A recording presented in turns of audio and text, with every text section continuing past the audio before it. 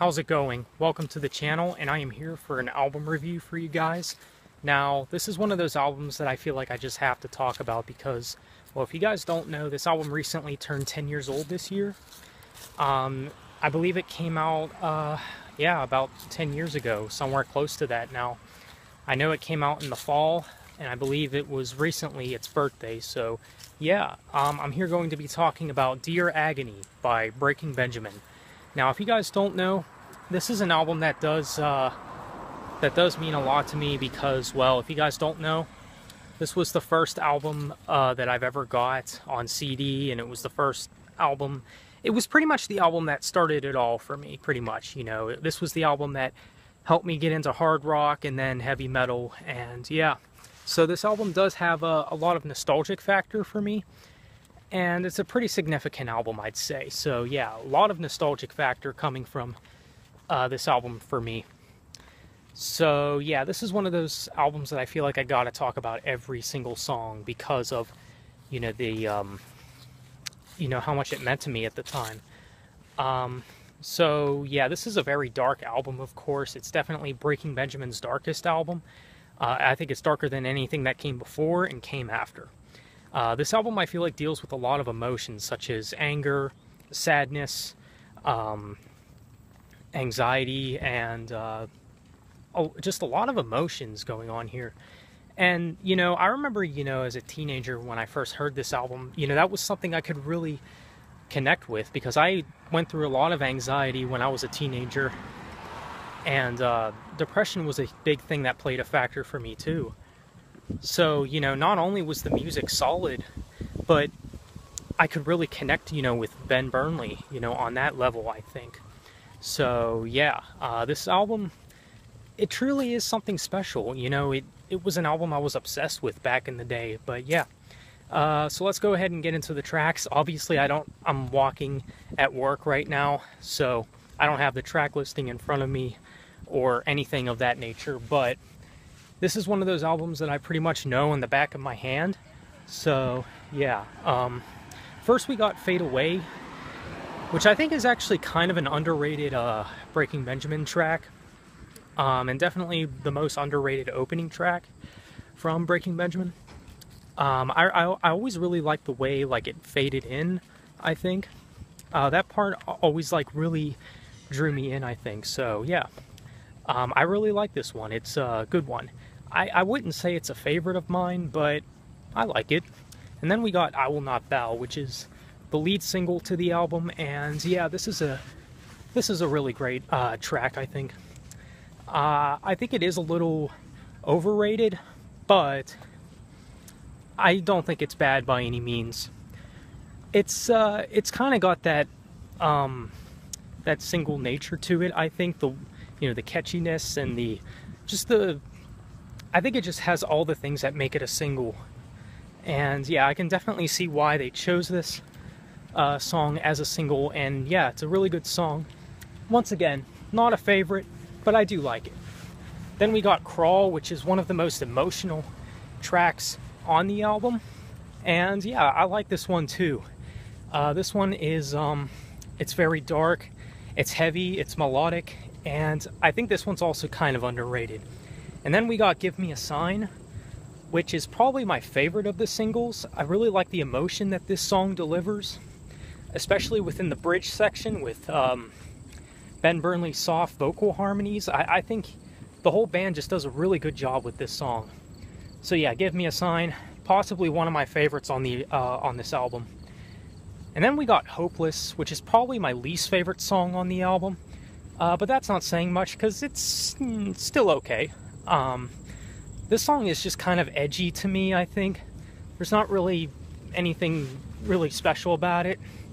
But again, I think it's a decent track. And then we got What Lies Beneath, which I think is another underrated Breaking Benjamin song. And this is possibly another favorite of mine. I really like the dark mood and the emotion that this song captures. I think it's a very unique track and it doesn't really get a whole lot of love like I think it deserves. And then we got Anthem of the Angels. Now, this seems to be a fan favorite off this record, and for good reason. It is more experimental. Uh, they do kind of experiment with orchestral elements, and I think it goes off uh, really well. So, Anthem of the Angels, is it a favorite of mine? I, I don't know if I would go that far, but it's not really a least favorite of mine either. So, yeah. Anthem of the Angels, I think it's a good song. Um, and then we got Lights Out, which is probably the angriest, most aggressive song on the album. And again, not a favorite, but not a least favorite either. This used to be my favorite Breaking Benjamin song back in the day, actually. Um, so yeah, I think uh, this song is actually very good.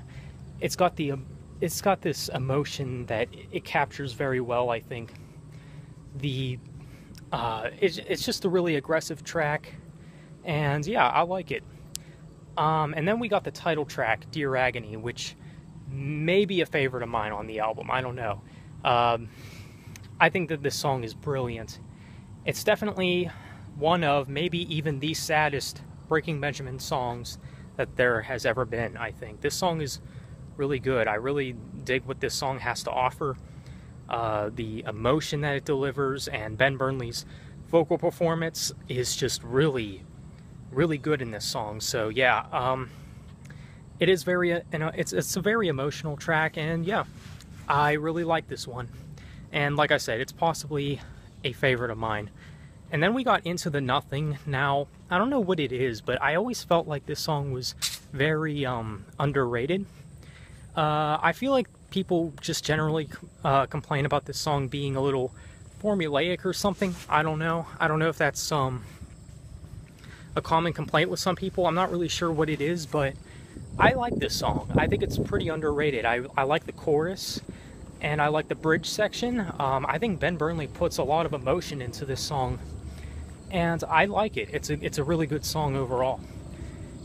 And and then we got Without You, the closing track, which is probably Breaking Benjamin's best closing track that they've ever done.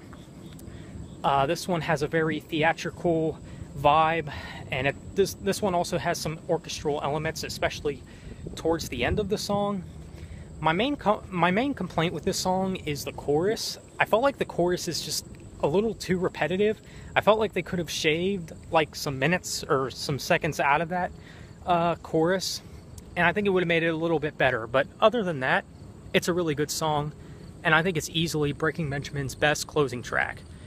And yeah, I think um, it's a really good way to end the album. So there you go, guys. Um, that's my take on the album Dear Agony from Breaking Benjamin. Um, I want to know what you guys think of this album. Uh, I think it's actually really good.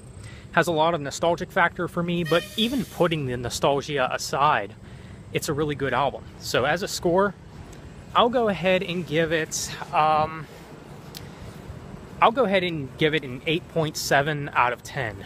It's a really good album. So yeah, I highly recommend it if you like hard rock.